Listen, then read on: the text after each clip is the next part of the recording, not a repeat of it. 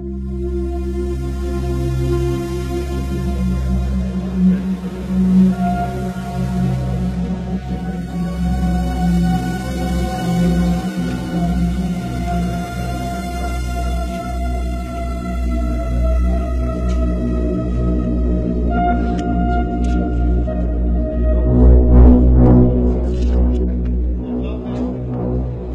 are you a civilian or a military? I'm military. What is your rank?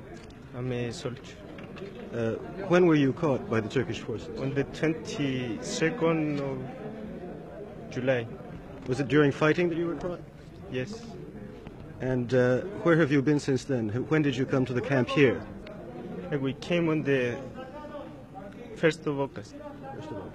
Uh, were you, have you been well treated throughout this whole thing? Yes, we have been very well treated thank you